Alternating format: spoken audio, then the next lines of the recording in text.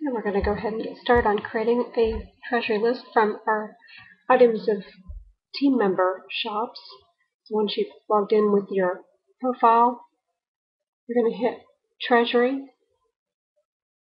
And what I normally do is use the search option once I'm under the treasury list to just see if there's anything similar to what I want to create, just to make sure I'm not duplicating a list. So I just enter that and hit search and it will bring up any of them that have that keyword in their lists, either in their title or their description or keywords that they used when they created their treasury list. Now you can see an example of some of those treasury lists. And once you're pretty sure that yours is going to be un unique, you can click on Create a List. Alright, now you want to create the title for your list. So we're going to give it a name and then also fill out the description area.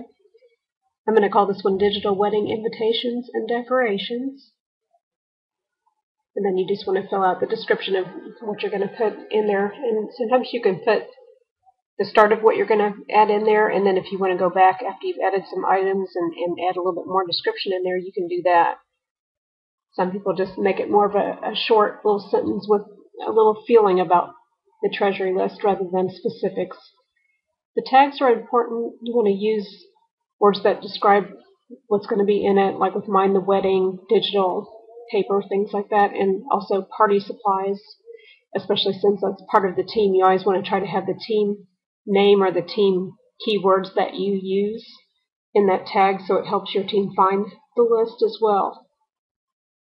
You can put, I believe, up to 16 keywords and just put a comma between each one when you add them.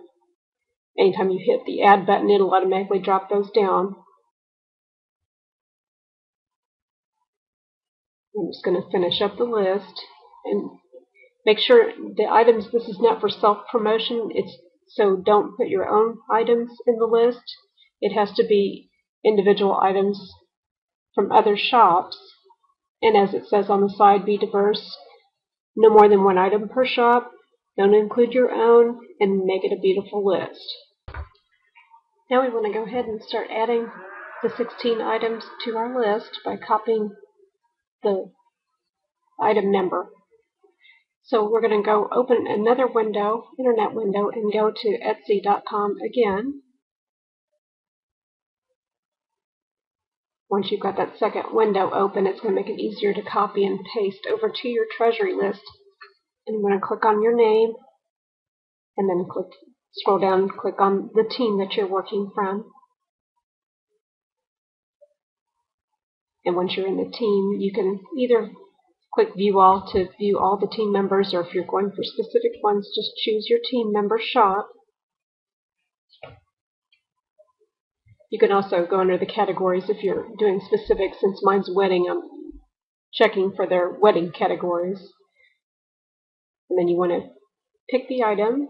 Once you've got the item picked, you just want to click on that item so it brings it up by itself. I'm clicking that item, and then I'm going to go up into the web link and click on to highlight that and hit Control C to copy it. I'm going to click over to the other window where my treasury list is and hit Control V and that'll paste the link, hit OK, and it's going to automatically pull that item right into the list. And then you can repeat the steps. You just want to go back into another shop and pick another item. I'm just going back under my team.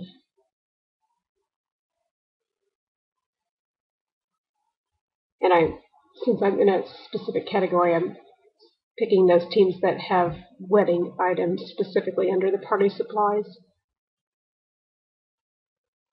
Same thing, just going under their category, wedding. And then I'm going to pick another item and do the same thing. I'm going to click on that item. I'm going to highlight the, the link for that product. Control C to copy go back over to my treasury list window, Control V to paste the link, hit OK, and it appears. Now you just want to repeat that until you have all 16 in that list. And Next, I'm going to show you how to use the search tool to search outside of your team members' shops and look for similar items from new shops. I like to do this whenever I don't have enough in my team and I also want to look for new members to join the team. So I go through and find the items that I want to put in my treasury list. And once I find one I like, I just click on the item and that'll bring that item up with, with its web link. I'm just going to control favorite the shop, as you saw, favorite the shop because it's a new one. Control C to copy, go back to the treasury list, Control V, and hit OK. So I'm just repeating those steps, but this time I'm using that search tool. I'm looking through a broader range of items under my categories, and I'm still looking under digital wedding decorations. And same thing, favoriting the shop. This is the second item I'm doing. And going back to the treasury list. And you'll be able to see whenever I the mouse hovers over the top of a picture, you see edit and remove. That allows you to edit the picture or actually remove it if you want it in a different place or not at all. Once the list is complete, you want to click Save, and it will automatically publish it and then you're going to be able to share it. And you're going to look at video number two in this Treasury List series to see how to do that. Thank you.